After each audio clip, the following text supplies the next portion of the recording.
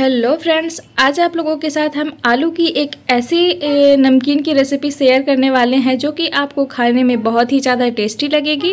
ये आपको घर पे बनाना भी बहुत आसान है। ये बहुत ही क्रिस्पी और कुरकुरी बनती है। तो इसको बनाने के लिए हमने मीडियम साइज़ के पाँच आलू ले लिए हैं। आप बड़े साइज़ के भी ले सकते हैं। तो उसको हमने अच्छी तरीके से पहले छील के धो लिया है। और इसके हम पहले चिप्स की तरह से इसको हम इसको जो चिप्स वाला कटर होता है, उससे हम इसको चिप्स जैसा सेप देकर काट लेंगे। थोड़ा पतला ही काटेंगे, इसको हमें मोटा नहीं काटना है। जैसे हम चिप्स काटते हैं, सेम उसी तरीके से हमें इसको काटना है। और इसको हम तीन से चार पानी में इसको हम धो लेंगे। और धोने के बाद इसको हम इस तरीके से पहले जो सभी को एक साथ तीन से चार चिप्स को लेकर उसकी लेयर को एक पे एक रख के हम इस तरीके से चाकू की मदद से पहले पतला पतला काटेंगे। तो इस इस तरीके से बहुत ही आसानी से, बहुत जल्दी से ये कट जाता है। तो इसी तरीके से हम सभी को आलू को इस तरीके से काट लेंगे। थोड़े बड़े साइज़ के रहेंगे तो ये बड़े बनेंगे और थोड़ा छोटे साइज़ के आलू रहेंगे तो ये छोटे बनेंगे।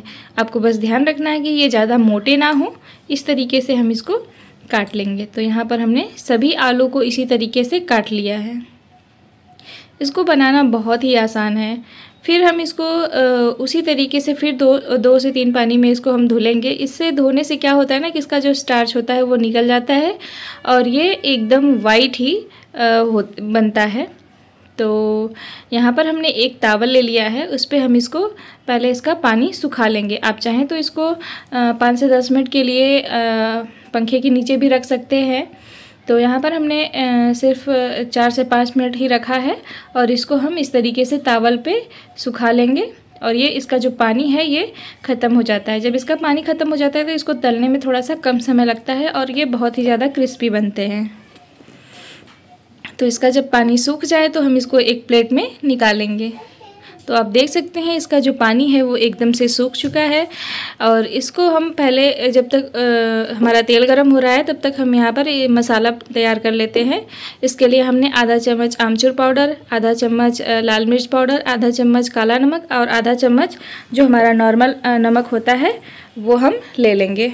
और लेने के बाद हम इसको पहले अच्छी तरीके से हम आ, जो है कि मिला लेंगे। और इधर हमारा जब तेल गर्म हो जाए तो हम इसको अच्छी तरीके से फ्राई करेंगे, जब तक कि ये क्रिस्पी नहीं हो जाता।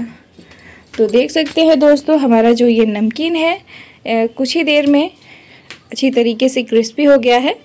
और इसको हम एक प्लेट पे निकालेंगे और निकालने के बाद हम इसको फैला देंगे, ताकि ये थोड़ा सा ठंडा हो जाए।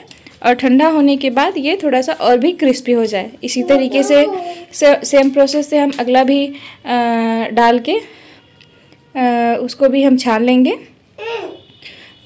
तो ये आलू की जो ये नई रेसिपी है ये बहुत ही ज़्यादा खाने में टेस्टी लगती है। ये इस तरीके से आपने नमकीन नहीं बनाई होगी तो एक बार ज़रूर ट्राई करिए।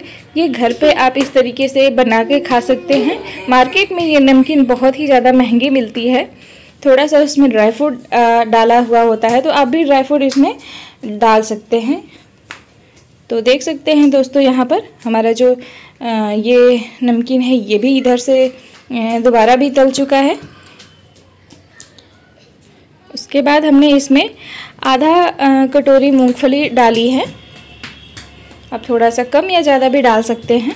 तो देख सकते हैं दोस्तों यहाँ पर हमारी जो मूंगफली है उसको भी हम धीमी आँच पर उसको भी भून लेंगे।